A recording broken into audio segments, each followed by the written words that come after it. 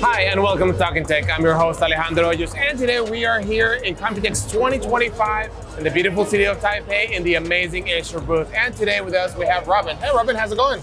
Doing well, thank you. Welcome to Acer. Uh, it's always great to reconnect with Intel at Computex. Uh, so at the 2025 event, uh, there are three new exciting Intel AI PCs that would like to introduce. The first one is the Swift Edge 14 AI. It's a ultra thin, ultra light Copilot Plus PC powered by Intel Core Ultra 9 processors, um, up to 120 total TOPS AI performance, and also 48 top uh, NPU. Wow. So what's special about this device is that uh, if you look at it from the outside, uh, it has a sleek design. Um, it's ultra thin, ultra light, under just one kg, one kilogram. So once you lift it up, you'll instantly notice the difference. Wow, it is really light, feels really sturdy. Actually, and the white just pops out really nice. This device is the first laptop to integrate the Corning Gorilla Map Pro um, technology. Mm-hmm. So um, on top of the 3K OLED display, this is this is the first in the world. So what the glass does is that it drastically reduces the glare and reflection on the display. So even you're in a very bright environment like this, Wow. um, Yeah, the reflection is very minimal. And you and we were talking earlier, and you were saying like this is someone for like to travel a lot due, because of that screen, like the scratching and all the different things. Yeah, for the for the lightweight, for the portability, um, if you're a frequent traveler looking for something more stylish, and also the battery life um, is also one thing to highlight. With all that features, with all the benefits, uh, it still gives you up to 21 hours battery. yeah, this is this is a great uh, system, and, and like you said, battery life is due to the uh, Intel Core Ultra uh, 9, the 200V series, the family, which is a Lunar Lake architecture, which is amazing for uh, battery life. And I'm also seeing the other specifications here, which has 32 gigabits of memory and one terabyte for SSDs. It is, uh, yeah, it is a really great, amazing working horse. Exactly. So with the AI Acer solutions such as Acer Purify Voice and Purify View, uh, when you're on the go, uh, when you're doing video calls, it helps to reduce the noises both ways, and also the Purify View um, to allow you um, a, a, a pleasant video call experience. That, that's great. All right, so that was the Swift Edge uh, Copilot Plus, right? I see you have two other more over here. All right, so moving on to the Aspire 14 AI, also a Copilot Plus PC. So the Aspire product line is a more mainstream product line for the value. We still have the lightweight aluminum chassis. Also comes with uh, the privacy shutter um, camera, 1080p infrared camera for facial recognition. It's powered by Intel Core Ultra 7 processors, up to 47 TOPS NPU. And thanks for the Lunar Lake architecture, it's 40% more power efficiency. So on the outside, um, the 180 degree hinge also helps with collaboration. Uh, the lightweight design. This is a great balance between battery life and performance. Right. So it still gives you up to 26.5 hours of battery. Um, so for this model, uh, we have the 14 AI and also the Aspire 16 AI. Um, two different models. Uh, in the 14, we have the pure silver color, and for Aspire 16 AI, we have the steel gray color. Okay, that, that's great. And like you were saying, uh, due to the processor architecture and all the optimizations you guys have done, uh, this guy can go around up to all, up to 26 battery, up to 26 hours on a battery, depending on what you're doing. But that's where you can do so much. Uh, the device also integrates the Acer AI features, such as Acer Assist. Um, this is the large language model built locally. So um, whatever files you have stored locally, if you want to do AI uh, summarizing um, or searching searching for pictures stored on your devices, uh, this tool can help you without connecting to the internet. No, that is great. And I see that uh, this guy also, it's pretty light actually. Uh, it also has a micro SD card in here. It has your, your USB Type A. It has a jack, jack headphones. I think on this side, yes, you have the two Thunderbolt ports and your HDMI. So it's really nice. It's a lot of ports for su- such a great uh, product. So it, it's beautiful.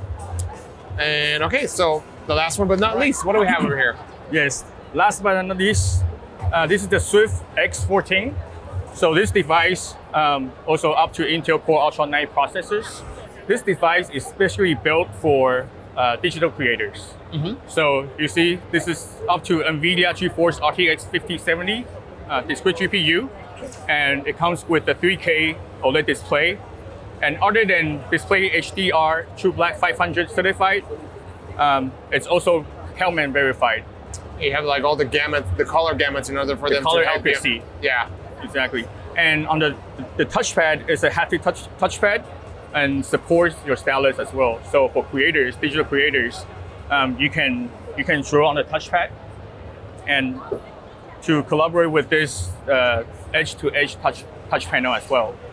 And just like we had here with the Aspire, uh, the Swift uh, also has uh, the micro SD card. Of course, if you're a content creator, you're gonna need that. You had your headphone jacks. You have uh, two, uh, I think it's a Thunderbolt 4 ports right here, which is for you know data and videos transfer, and your HDMI output. And it's actually and, it, and it's pretty robust. And with all that power, it's still under 1.6 kilogram. So Yes, actually still pretty light light device.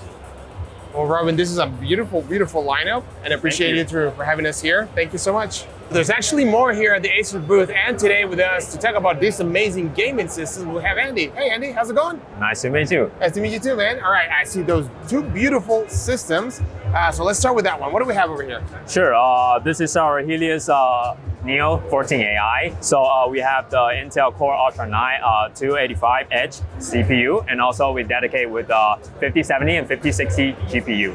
nice. So this is our like performance gaming for the end users, and so we're definitely recommend everyone to purchase this one. Yeah. This is great. Uh, tell us a little bit about the, the screen and the I/O ports. Like, what else does it have? Sure, no problem. So uh, we have the OLED panel, and we also uh, have the up to 2.8K resolution, and also uh, we have the, the thermal solution with our previous fifth gen uh, Aeroblade, uh, and also Vortex Flow, and also the heat pipes, and also the memory can up to 32 uh, gigabyte, and also the SSD can up to two terabytes. That is great. And also, I see it comes with a Thunderbolt 4 and probably Wi-Fi. Yeah, Wi-Fi Yeah. 6E. So it's a fully loaded system just for all you know for the gamers on the go, like you yeah, and I. yeah, sure.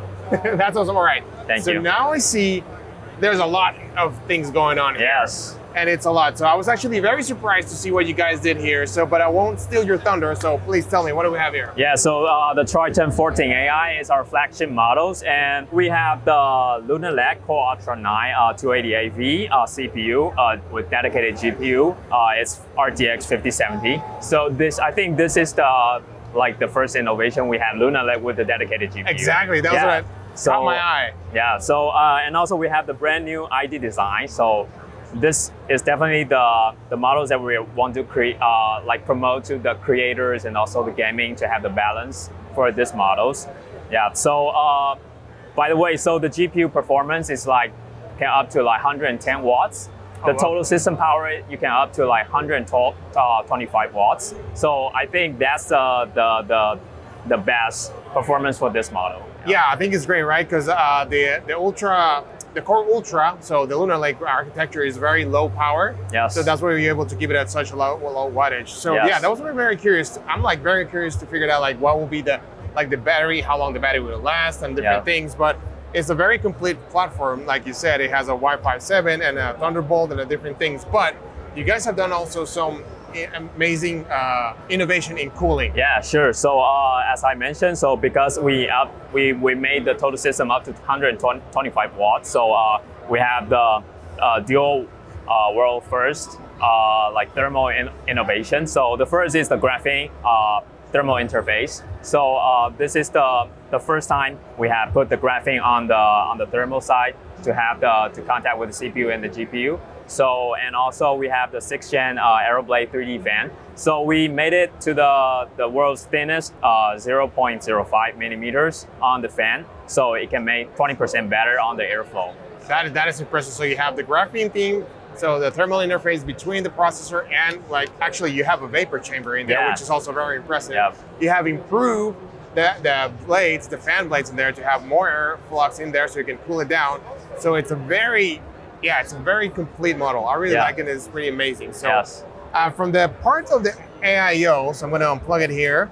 Uh, what do you guys have here? So tell me a little bit more about We it. We got a Type C, uh, we got a USB port, and also the, the audio mic. Uh, Yeah. the audio, yes, the audio mic in, like the audio Yeah. jack in there, which is very, you know, I'm a fan of those. So what do we have Yeah. here? And also we have micro SD uh, and also Type C, uh, the USB port, and also the, The the HDMI. Yeah. Yeah, it's great. So you have all, all so many ports in there that it makes it Yeah. very useful. And like you said, this is for content creators, so that micro SD comes in very handy. I see they have a little uh, pen here. What is this for? Wow. Uh, so this is another innovation for this model. So uh, first of all, this uh, have the haptic touchpad. So you can use the stylus pen on this touchpad to make it the creator more efficient on the painting or anything like the pen drawing things. Yeah.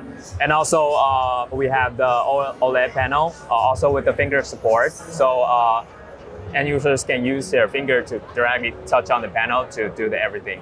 Oh, that is great. So I really appreciate it. So no, this is great.